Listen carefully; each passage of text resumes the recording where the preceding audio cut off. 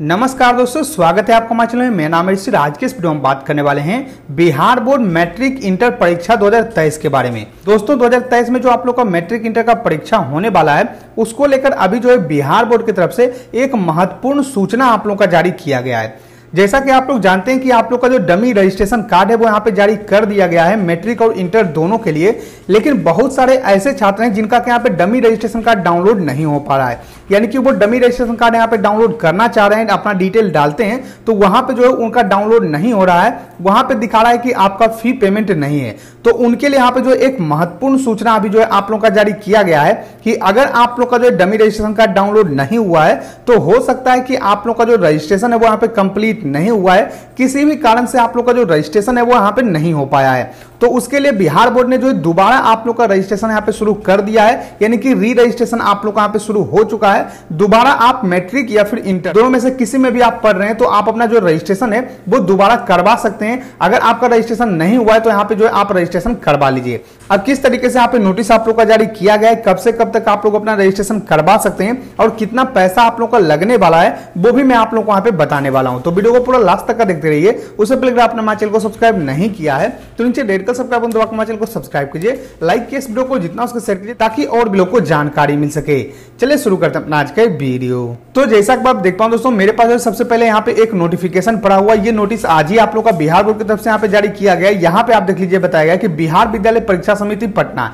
यहाँ पे आप लोग का दोस्तों ये जो है मैट्रिक के लिए जारी किया गया कि वार्षिक माध्यमिक परीक्षा 2023 सत्र 2022-23 में सम्मिलित होने के लिए नियमित कोटि के अध्यांतरत एवं स्वतंत्र कोटि के छात्र छात्राओं का ऑनलाइन पंजीयन अनुमति आवेदन दिनांक आठ आठ दो से चौदह आठ दो हज़ार बाईस तक भरे जाने एवं शुल्क, विलंब शुल्क के साथ जमा करने के संबंध में आवश्यक सूचना यानी दोस्तों, मान लीजिए कि आप लोग यहाँ पे जो अपना डमी रजिस्ट्रेशन कार्ड डाउनलोड कर रहे हैं, डाउनलोड नहीं हो रहा है, इसका मतलब है कि आप लोग का जो रजिस्ट्रेशन है वो नहीं हो पाया है।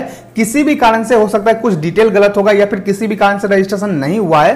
तो ऐसे में आठ आठ दो यानी कि आज से लेकर चौदह आठ दो तक जो है, आप अपना यहाँ पे जो रजिस्ट्रेशन है उसको करवा सकते हैं। और आप रजिस्ट्रेशन करवाइएगा तो तुरंत ही आप लोग का जो डमी रजिस्ट्रेशन कार्ड है, वो भी जारी कर दिया जाएगा। यहाँ पे आप लोग को जानकारी दिया दोस्तों, की वार्षिक माध्यमिक परीक्षा 2023 सत्र 2022-23 में सम्मिलित होने के लिए विद्यालयों में विधिवत नौवीं कक्षा में नामांकित अध्यांतरत नियमित एवं स्वतंत्र कोटि के छात्र छात्रा का पंजीयन अनुमति आवेदन विद्यालय प्रधान के द्वारा ऑनलाइन समिति की वेबसाइट, यहाँ पे आप लोग का वेबसाइट बताएगा दोस्तों, पर भरने एवं शुल्क जमा करने हेतु अंतिम तिथि, यानी यहाँ पे जो है आप लोग का तीस दस दो निर्धारित की गई थी तथापि विद्यालय के प्रधान साइबर कैफ़े की कमी या अन्य कारणों से कुछ छात्र छात्रा का पंजीयन अनुमति, आवेदन नहीं भरे जाने की सूचना प्राप्त हुई है। यानी दोस्तों, यहाँ पे बहुत सारे छात्रों का ऐसा हुआ है कि वो अपना यहाँ पे रजिस्ट्रेशन के लिए स्कूल में दे चुके हैं, लेकिन उनका रजिस्ट्रेशन यहाँ पे नहीं हुआ है। किसी भी कारण से जो यहाँ पे स्कूल जो है रजिस्ट्रेशन नहीं करवा पाई है तो वो जो है दोबारा रजिस्ट्रेशन करवा सकते हैं। यहाँ पे आप लोग को बताया दोस्तों की पंजीयन अनुमति, आवेदन भरे जाने से वंचित छात्र छात्रा के हित को ध्यान में रखते हुए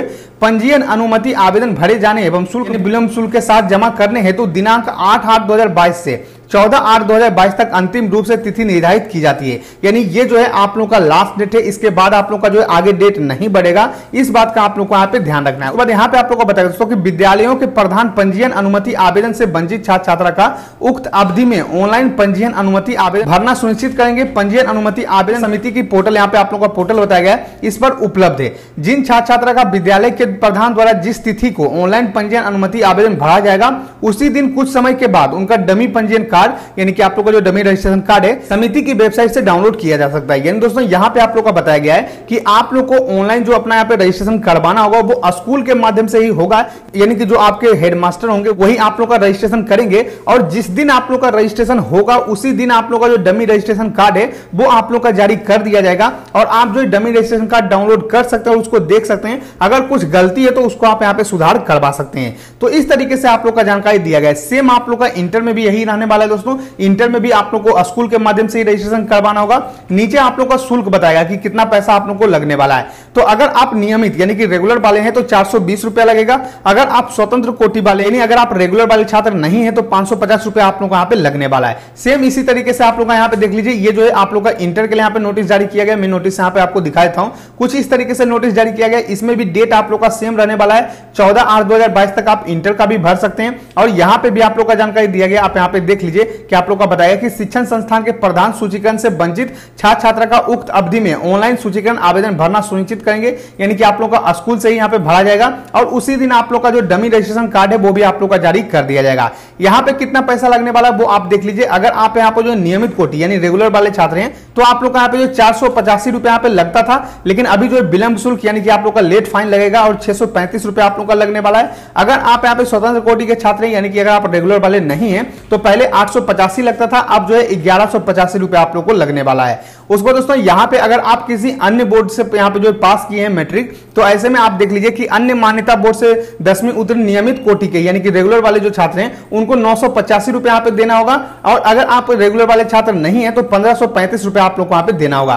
तो इस तरीके से आप लोग का डेट यहाँ पे निर्धारित किया गया चौदह तारीख तक आप अपना रजिस्ट्रेशन करवा सकते हैं। अगर आप लोग का रजिस्ट्रेशन कार्ड डाउनलोड नहीं हो रहा है, वहाँ पे लिख रहा है कि आप लोग का फ़ी पेमेंट नहीं है, या फिर आप लोग का रजिस्ट्रेशन नहीं हुआ या फिर कुछ भी डिटेल आप लोग का गलत दिखाता है तो चौदह आठ दो तक जो है आप अपना यहाँ पे जो रजिस्ट्रेशन करवा सकते हैं। और बहुत सारे छात्रों का यहाँ पे रजिस्ट्रेशन रद्द हुआ था तो इस बात का भी आप लोग को ध्यान रखना है। आशा करते हैं कि आपको वीडियो पसंद आएगा अगर ये वीडियो पसंद आया तो लाइक इस वीडियो को सब्सक्राइब कीजिए हमारे चैनल को, साथ ही साथ इस वीडियो को ताकि और भी लोग को जानकारी मिल सके।